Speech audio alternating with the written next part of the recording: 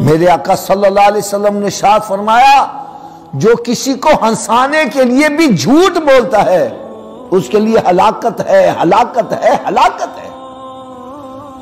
आप अपनी ईमानदारी से बात जितने भी हम लतीफे सुनाते हैं, उसमें सच्चे कितने होते हैं? सब झूठ बोल रहे होते हैं। और फिर जो कुफरिया कलिमात बकते हैं, ज़ुबान से कोई मज़ाक करवा रहा है, नमाज़ का, कोई रोज़े का, कोई जन्नत का, कोई दोजक का? ये गुफ्तगु करने वाला भी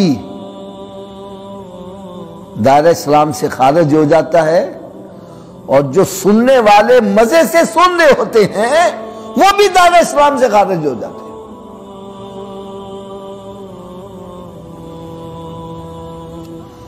इसलिए कि मेरे आका सल्लल्लाहु अलैहि वसल्लम ने शाद फरमाया, जब बुराई होती हो उसको हाथ से रोक दो।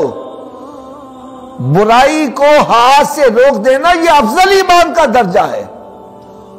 और जो हाथ से नहीं रोकता, ज़ुबान से रोक दे।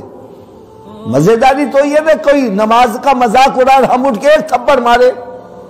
शर्म नहीं आती, हम मुसलमान हैं, हमारे दीन का मज़ाक उड़ा रहे तुम्हें किसने यह ज़रूरत दी है?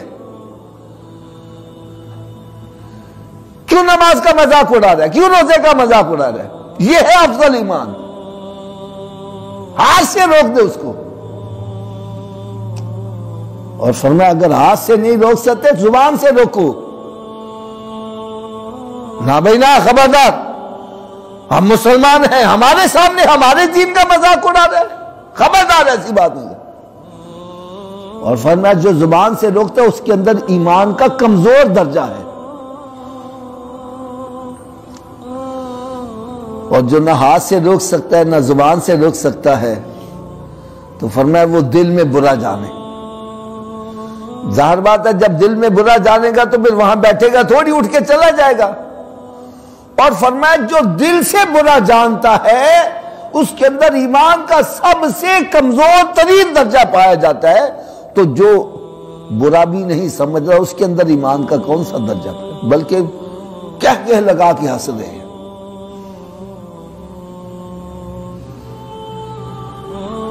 कुरान मजीद, फुरकान हमीद में रब ताला ने शाद फरमाया फल यद हकू कलील वल यबकू कसीरा। अरे थोड़ा हंसा करो, रोया ज़्यादा करो। हंसने से दिल मुर्दा होते हैं और रोने से दिल ज़िंदा होते हैं। आज हमने वो किस्टें लगाकर लतीफे सुनते हैं और कह कह लगाकर हंस रहे हैं।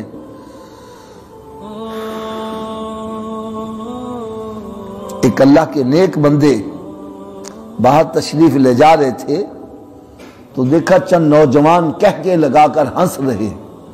वो उनके पास खड़े हो गए। समझाने का अंदाज देखो।